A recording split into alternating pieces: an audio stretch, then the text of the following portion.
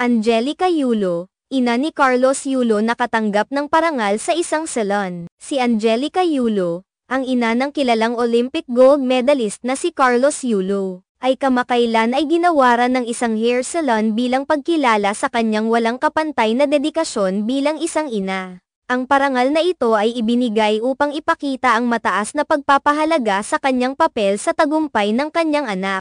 Sa isang video na kumalat sa social media, makikita ang ligaya ni Mrs. Yulo habang tinatanggap ang parangal mula sa salon. Ang seremonya ay pinangunahan ni Jong Si Ochi, isa sa mga kasosyo sa franchise ng salon. Ang okasyong ito ay pinangunahan ng isang maligaya at makabayang diwa, na naglalaman ng paggalang at pagpapahalaga sa sakripisyo at pagmamahal ni Mrs. Yulo sa kanyang pamilya. Ang video ay nagpapakita ng mga emosyong hindi may tatago ni Mrs. Yulo habang tinatanggap ang parangal, na nagbigay sa kanya ng lubos na kasiyahan. Sa seremonya, kasama ni Mrs. Yulo ang kanyang pamilya, kabilang ang kanyang ama na may mahalagang papel sa pagkakaroon ng interes ni Carlos sa gymnastics. Ang kanyang ama ang siyang nagpakilala kay Carlos sa sport na ito at malaking bahagi siya sa pagbibigay ng suporta at inspirasyon kay Carlos sa kanyang mga pagsusumikap. Ang pagtitipon na ito ay hindi lamang para sa parangal kundi para rin sa pag-alaala at pagkilala sa pagsusumikap ng bawat miyembro ng pamilya na nag-ambag sa tagumpay ni Carlos. Ang parangal na ito ay hindi lamang isang simbolo ng pagkilala kundi isang pagdiriwang ng mga pagsisikap at sakripisyo ni Mrs. Yulo bilang isang ina. Sa kabila ng kanyang pagiging abala, palaging nandyan siya upang magbigay ng suporta at inspirasyon sa kanyang anak. Ang kanyang dedikasyon at pagmamahal ay naging pundasyon ng tagumpay ni Carlos, na nagbigay sa kanya ng pagkakataon na ipakita ang kanyang galing sa pandaigdigang entablado.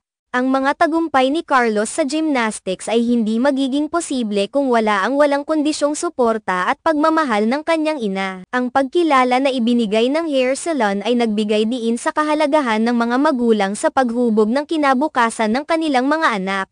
Ang mga magulang, tulad ni Mrs. Yulu, ay may mahalagang papel sa pagbuo ng mga pangarap ng kanilang mga anak. Ang pagkakaroon ng pagkilala sa kanilang sakripisyo ay isang paraan upang ipakita ang pasasalamat at pagpapahalaga sa kanilang mga ginagampanan. Ang seremonya ay isang magandang pagkakataon upang ipakita ang suporta ng komunidad sa mga magulang na nagtatrabaho ng mabuti upang makamit ang mga pangarap para sa kanilang mga anak. Ang parangal kay Mrs. Yulo ay hindi lamang isang simpleng gantimpala, kundi isang malalim na pasasalamat sa kanyang dedikasyon at sakripisyo. Ang kanyang kwento ay nagsisilbing inspirasyon sa marami, na nagpapakita ng halaga ng pagbuo ng tagumpay sa pamamagitan ng suporta ng pamilya. Ayon sa mga ulat, naging emosyonal si Mrs. Yulo sa oras ng pagtanggap ng parangal. Ang kanyang kasiyahan ay hindi mapigilan, at nagpasalamat siya sa lahat ng tumulong sa kanyang pamilya at sa mga naging bahagi ng paglalakbay ng kanyang anak. Ang seremonya ay hindi lamang isang pagpapakita ng pagkilala kundi pati na rin isang pagdiriwang ng pamilya at ng kanilang pinagdaraanan sa pag-abot sa kanilang mga pangarap. Ang hair salon.